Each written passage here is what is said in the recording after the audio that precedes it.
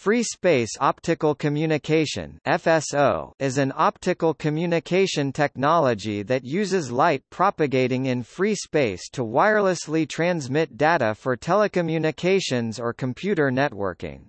Free space means air, outer space, vacuum, or something similar. This contrasts with using solids such as optical fiber cable. The technology is useful where the physical connections are impractical due to high costs or other considerations.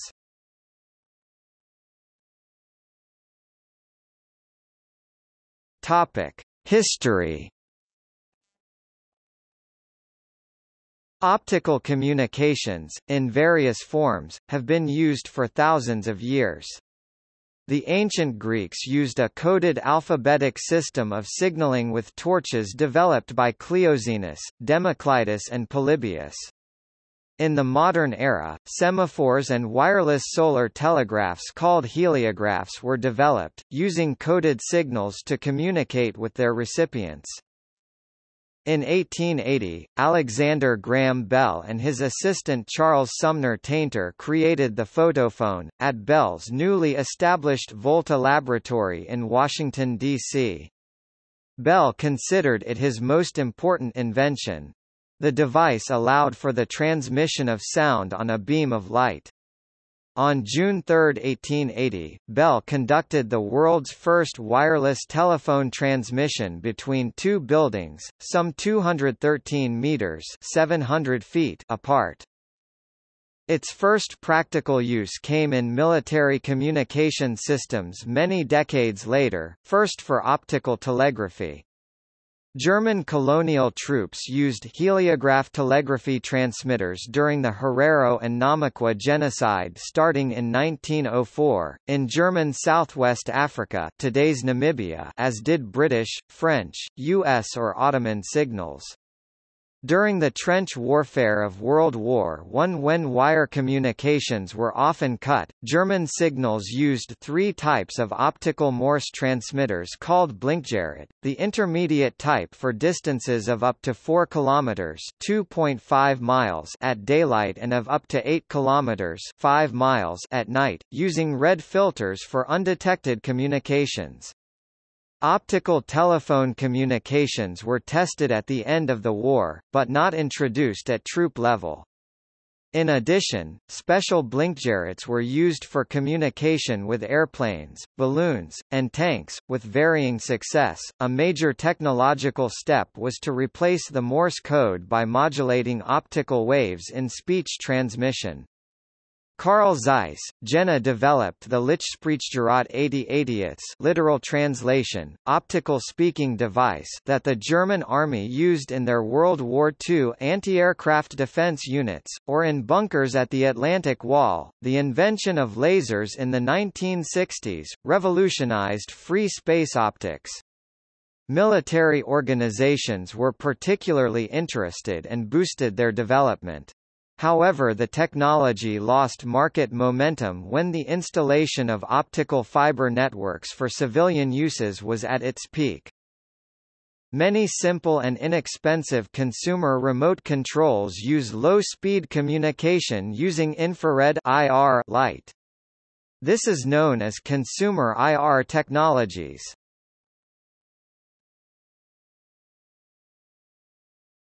Topic: Usage and technologies Free space point-to-point -point optical links can be implemented using infrared laser light, although low data rate communication over short distances is possible using LEDs. Infrared Data Association technology is a very simple form of free space optical communications.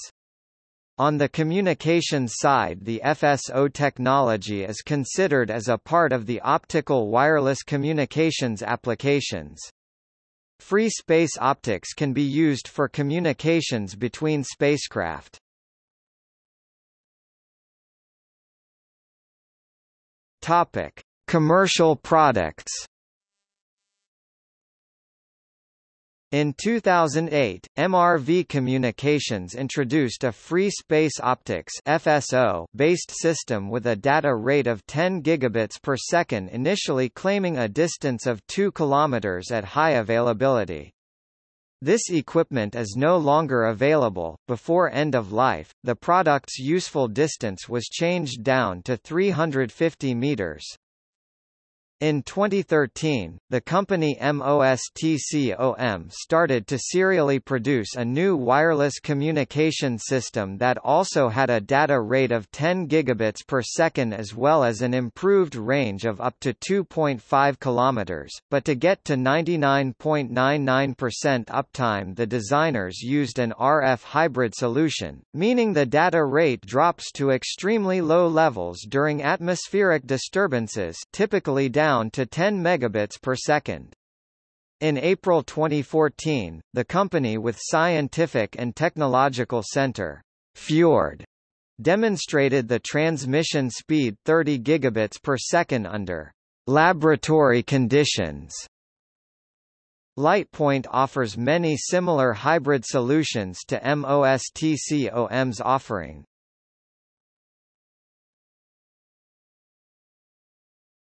Topic: Useful distances. The reliability of FSO units has always been a problem for commercial telecommunications. Consistently, studies find too many dropped packets and signal errors over small ranges 400 to 500 meters. This is from both independent studies, such as in the Czech Republic, as well as formal internal nationwide studies, such as one conducted by MRVFSO staff. Military-based studies consistently produce longer estimates for reliability, projecting the maximum range for terrestrial links as of the order of 2 to 3 kilometers, 1.2 to 1.9 miles. All studies agree the stability and quality of the link is highly dependent on atmospheric factors such as rain, fog, dust and heat. Topic extending the useful distance The main reason terrestrial communications have been limited to non-commercial telecommunications functions is fog. Fog consistently keeps FSO laser links over 500 meters from achieving a year-round bit error rate of 1 per 100,000. Several entities are continually attempting to overcome these key disadvantages to FSO communications and field a system with a better quality of service. DARPA has sponsored over $130 million in research towards this effort. With the ORCA and ORCLE programs, other non-government groups are fielding tests to evaluate different technologies that some claim have the ability to address key FSO adoption challenges. As of October 2014, none have fielded a working system that addresses the most common atmospheric events. FSO research from 1998 to 2006 in the private sector totaled $407.1 million, divided primarily among four startup companies.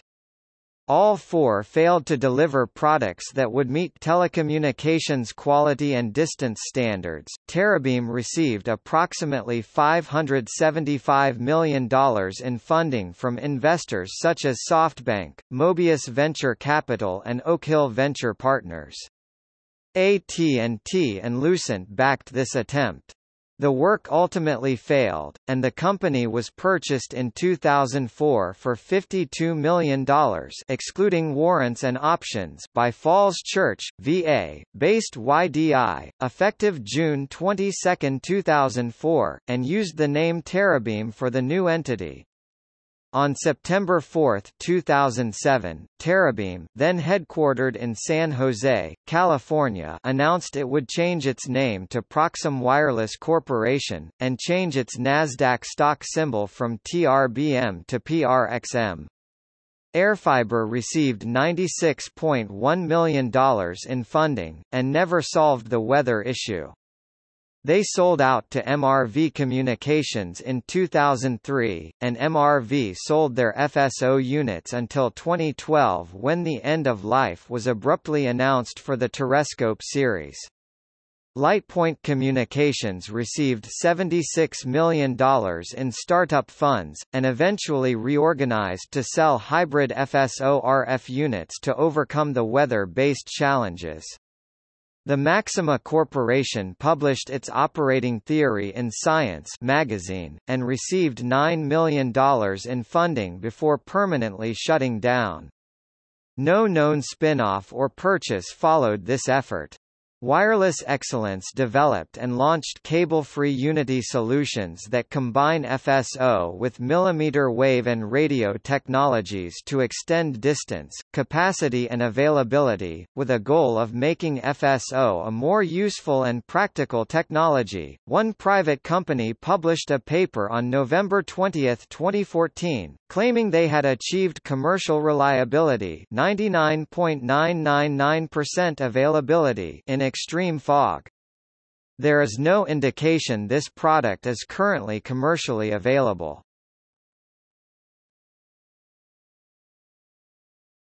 Topic: Extraterrestrial The massive advantages of laser communication in space have multiple space agencies racing to develop a stable space communication platform, with many significant demonstrations and achievements.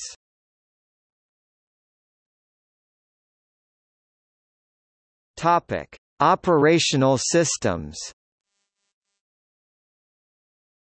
The first gigabit laser-based communication was achieved by the European Space Agency and called the European Data Relay System (EDRS) on November 28, 2014.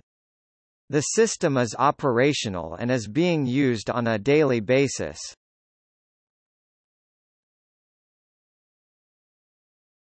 Topic: Demonstrations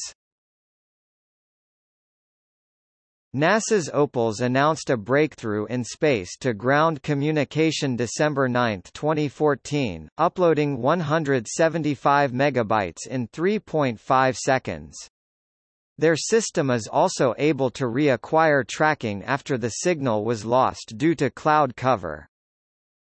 In January 2013, NASA used lasers to beam an image of the Mona Lisa to the Lunar Reconnaissance Orbiter roughly 390,000 kilometers (240,000 miles) away. To compensate for atmospheric interference, an error correction code algorithm similar to that used in CDs was implemented. A two-way distance record for communication was set by the Mercury Laser Altimeter instrument aboard the Messenger spacecraft, and was able to communicate across a distance of 24 million kilometers (15 million miles) as the craft neared Earth on a fly-by in May 2005. The previous record had been set with a one-way detection of laser light from Earth, by the Galileo probe, of 6 million kilometers in 1992. Quote from Laser Communication in Space Demonstrations EDRS. Topic: Commercial use Various planned satellite constellations such as SpaceX's Starlink intended to provide global broadband coverage employ laser communication for inter-satellite links between the several hundred to thousand satellites effectively creating a space-based optical mesh network.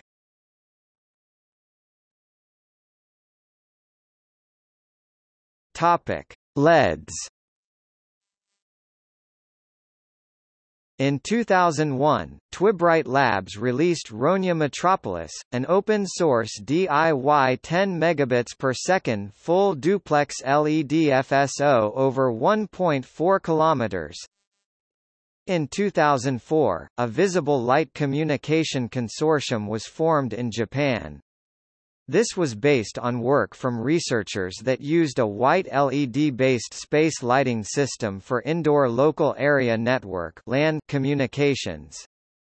These systems present advantages over traditional UHF-RF-based systems from improved isolation between systems, the size and cost of receivers, transmitters, RF licensing laws and by combining space lighting and communication into the same system. In January 2009, a task force for visible light communication was formed by the Institute of Electrical and Electronics Engineers Working Group for Wireless Personal Area Network Standards known as IEEE 802.15.7. A trial was announced in 2010. In St. Cloud, Minnesota, amateur radio operators have achieved significantly farther distances using incoherent sources of light from high-intensity LEDs. One reported 173 miles 278 kilometers in 2007. However, physical limitations of the equipment used limited bandwidths to about 4 kHz. The high sensitivities required of the detector to cover such distances made the internal capacitance of the photodiode used a dominant factor in the high impedance amplifier which followed it, thus naturally forming a low-pass filter with a cutoff frequency in the 4 kHz range.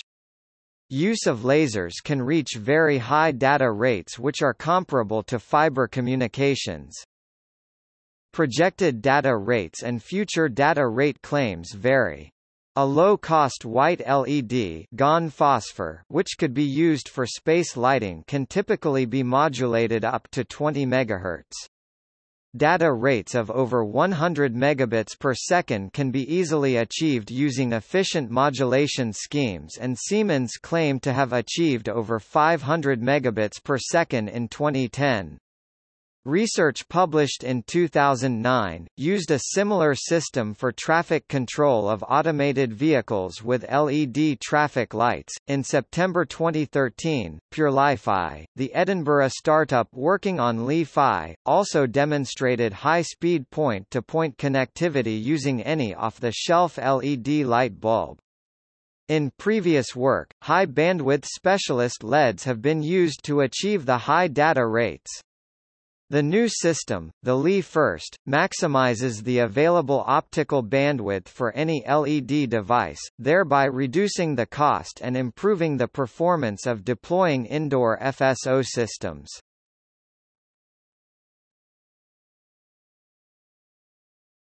Topic: Engineering details.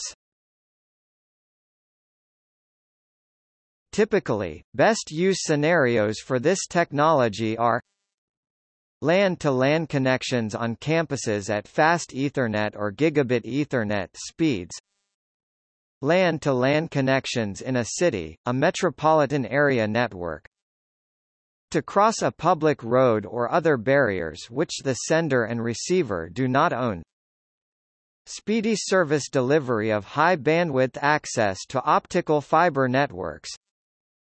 Converged voice data connection temporary network installation for events or other purposes Re-establish high-speed connection quickly disaster recovery as an alternative or upgrade add-on to existing wireless technologies especially powerful in combination with auto-aiming systems, this way you could power moving cars or you can power your laptop while you move or use auto-aiming nodes to create a network with other nodes. As a safety add-on for important fiber connections redundancy, for communications between spacecraft, including elements of a satellite constellation, for inter- and intra-chip communication the light beam can be very narrow, which makes FSO hard to intercept, improving security. In any case, it is comparatively easy to encrypt any data traveling across the FSO connection for additional security. FSO provides vastly improved electromagnetic interference behavior compared to using microwaves.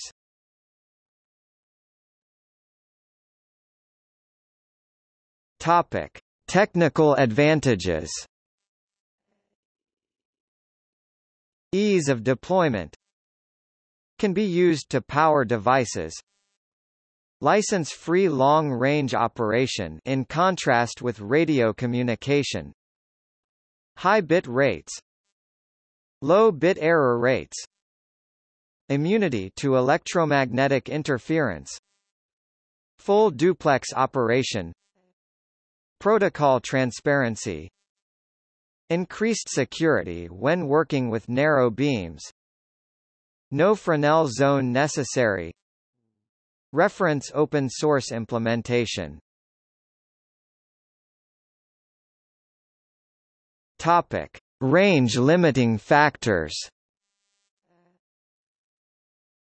For terrestrial applications, the principal limiting factors are Fog 10 to approximately 100 decibels per kilometer attenuation.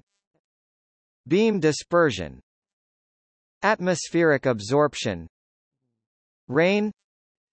Snow. Terrestrial scintillation. Interference from background light sources including the sun. Shadowing. Pointing stability in wind Pollution, smog These factors cause an attenuated receiver signal and lead to higher bit error ratio BER. To overcome these issues, vendors found some solutions, like multi-beam or multi-path architectures, which use more than one sender and more than one receiver. Some state-of-the-art devices also have larger fade margin extra power, reserved for rain, smog, fog, to keep an eye-safe environment, good FSO systems have a limited laser power density and support laser classes 1 or 1M. Atmospheric and fog attenuation, which are exponential in nature, limit practical range of FSO devices to several kilometers. However the free space optics, based on 1550 nanometers wavelength, have considerably lower optical loss than free space optics, using 830 nanometers wavelength, in dense fog conditions. FSO using wavelength 1550 nanometers system are capable of transmitting several times higher power than systems with 850 nanometers and are at the same time safe to the human eye 1M class. Additionally, some free space optics, such as EC system, ensure higher connection reliability in bad weather conditions by constantly monitoring link quality to regulate laser diode transmission power with built-in automatic gain control.